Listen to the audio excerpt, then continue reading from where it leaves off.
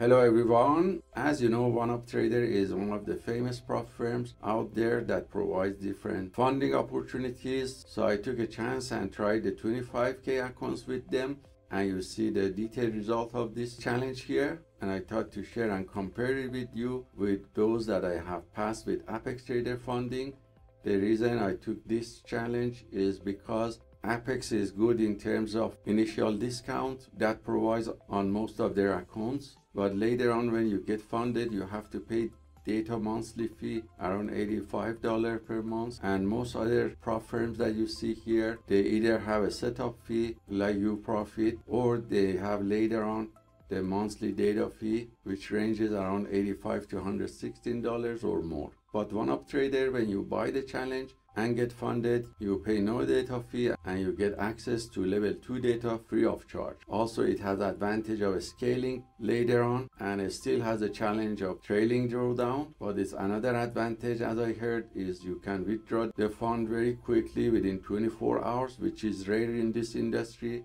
And for the Apex was bi-monthly and also there is no withdrawal limit on what you make but apex had restricted rules and you can only withdraw limited amounts for the first few months. So i registered on the 25k accounts that allow you to trade three mini contracts with profit goal of $1500 and the total drawdown of 1500 so ratio of profit target to drawdown is 1 to 1 which is good with no daily loss limit and they allow you to take 100% of the first $10,000 profit completely without any commission. And later on the split is 90% and the rest is similar to other futures prop firms. So I tried this and registered and received the email confirmation on the same day on 16th of November and the account was set up for me also on the same day. And to look at the rules for evaluation accounts briefly you can see that they have trailing drawdown and explain it in this video that you can reference that which is similar to Apex Trader funds accounts. And also the other rules are similar so you have to do day trading and do not trade after the market close and also holidays and weekends. And you can trade all future contracts within the permitted day trading times and all open trades need to be closed by 3.15 Chicago time, which is 4.15 New York time. So you have to close the trade earlier than Apex Trader funding. The rest of rules are very similar to other prop firms. The only new rule compared to Apex Trader funding is the consistency rule, which is explained in their sites in detail. So you cannot just pass the trades by one large win and runner. So the duration of challenge for me was 15 trading days and you can see when I passed this on December 12th I received email confirmation from them on the 13th of December confirming that I passed all the rules and they're gonna place me with one of their funding partners and I had to fill several forms and then received emails on the December 15th from Mess Capital that they're checking my trades and also all requirements and uh, applications that I have completed. And finally, on 18th of December, I received the funding accounts with the login information. And because I was using NinjaTrader for my Apex Trader funds accounts, I was using multi-charts and RTrader to place the trades on the uProfit and Mess Capital.